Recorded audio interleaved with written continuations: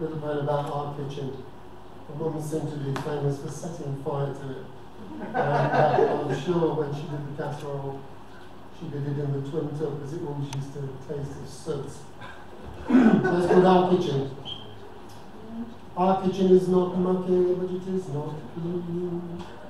There's bits of leftovers on plates, meat in chunks chopped out of bodies, sweating like motorway ham in cling film, put it in the bin with a shudder onto the tea bags oozing brown and sticking it all together in clumps. Nowadays you cannot burn it. Everybody has got gas fire at central heating. It is so much cleaner.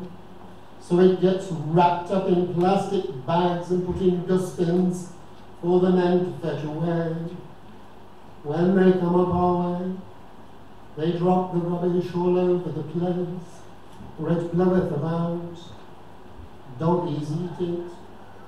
In posher places, they make you wrap it up in big black plastic sacks. Husbands do it. Outside our back, the bits the dustmen drop have stuck to the path and been ground it in. Like that the right fucking nurse. the perforated bit of a Persil packet, a festering leap of Tate pin, and the chocolate sticky wrapper of a kitty catty. A stained tissue flagging, one wet dissolving in, preventing its escape, draws attention to itself. Gob it or not, you think it is gob it in.